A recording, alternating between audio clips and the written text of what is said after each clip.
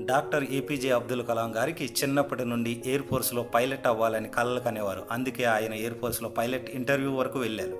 కలలు సాకారం కాబోతున్నాయన్న ఆనందంలో ఉన్నారు. కానీ అనివార్య కారణాల వల్ల అతన్ని రిజెక్ట్ చేశారు. తరువాత ఆయన డిప్రెషన్లోకి వెళ్ళారు.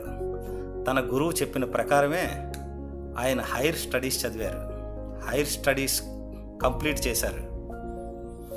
తరువాత మీకు తెలిసినదే ఆయన మిసైల్ మ్యాన్గా అవ్వడం తరువాత త్రిదల నేతగా మన దేశ ప్రెసిడెంట్ అవ్వడం మనకు తెలిసినదే. ఒకసారి కల చెరి చెదిరిగిందని అతను అలాగే డిప్రెషన్లో ఉండి ఉంటే అతనికి అతని నెక్స్ట్ లైఫ్ ఏంటో తెలిసి తెలియకుండేది కాబోలు. కానీ అతని మొత్తం లైఫ్ చూశాడు. కాబట్టి లైఫ్ అతనికి లైఫ్ ఇచ్చింది. అతను ఫెయిల్ అయిన తరువాత క్యారియర్ బిల్ట్ చేసుకుని అన్నీ సాధించినప్పుడు చివరికి తన కళ అయిన ఫైటర్ పైలట్ కూడా అయ్యి ఫైటర్ నడిపారు ప్రెసిడెంట్గా ఉన్నప్పుడు. నువ్వు మాత్రం ఫెయిల్ అయ్యావనో ఏ ఉద్యోగంలో రిజెక్ట్ చేశారనో నీ జీవితం డిప్రెషన్లో గడపడం దేనికి? సో మిత్రమా లే. గమ్యం చేరే వరకు మళ్ళీ పోరాడు. ప్రయత్నించు. సాఫల్యం సాధించు.